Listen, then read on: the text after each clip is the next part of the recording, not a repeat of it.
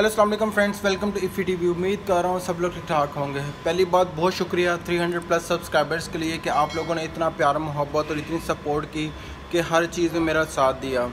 Second social media जो कि वहाँ पे बहुत सारे मसले मसाइल परेशानी डिस्कस होती हैं, जो पाकिस्तान से रिलेटेड और दुनिया भर से रिलेटेड होते हैं, जो पाकिस्तान में सिचुएशन चल रही थी बच्चों के साथ ज़्यादतियों से लेकर उसके बाद मोटरवे केस तक।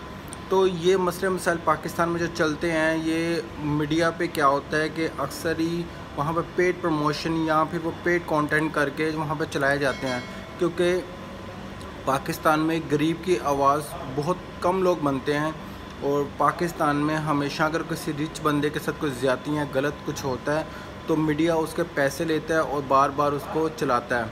अब गरीबों की आवाज़ बनने के लिए सिर्फ़ सिर्फ़ सोशल मीडिया होता है, जहाँ पे उनका सहारा बनना बहुत ज़रूरी होता है, उनकी आवाज़ उठाना बहुत ज़रूरी होता है। यहाँ तक कि सोशल मीडिया के जितने पेजेस हैं, जितने वेबसाइट्स होती हैं और जितना गवर्नमेंट से रिलेटेड कंटेंट्स होते हैं, वो सब वहाँ पर डाले जाते हैं ताकि लोगों को पता चल सके कि पाकिस्तान और दुनिया भर में हो क्या रहा है। तो आप लोगों की सपोर्ट का मुझे ज़रूरत है, आप लोगों का सहारे की ज़रूरत है। आप लोग अगर सपोर्ट करते तो इन ताला ये एक बहुत बड़ा प्लेटफॉर्म भी बनेगा और इन ताला हम लोग अपनी आवाज़ को उठा भी सकते हैं। पाकिस्तान में मौजूद बहुत सारे ब्लॉगर्स, बहुत सारे ऐसे एंकर्स हैं जो बहुत अच्छा काम कर रहे हैं, मौजूदा हुकूमत में भी अच्छा काम कर रहे हैं और लोगों को अवेयरनेस भी दे रहे हैं ताकि वो लोग पाकिस्तान में अपना करदार अदा कर सकें और पाकिस्तान में जो ज़्यादतियाँ होती हैं उसको कंट्रोल किया जा सके। यहाँ तक कि पॉलिटिक्स लेवल पे भी जहाँ पे लोग गलत काम करते हैं उनको सरेआम लोगों के सामने लाया जा सके ताकि लोग दो नंबर लोगों से बच सकें।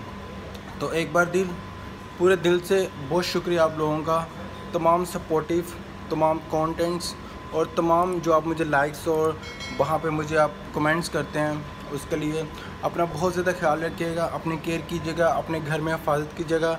अगर आप पाकिस्तान में या दुनिया भर में अगर आपको कोई माँ बहन नज़र आती है रोड पे तो प्लीज़ उनकी मदद कीजिएगा, क्योंकि मोटरवे केस के बाद पाकिस्तान में बहुत मसले मसाइल बढ़ गए हैं, यहाँ तक कि बच्चों को भी नहीं छोड़ा जाता।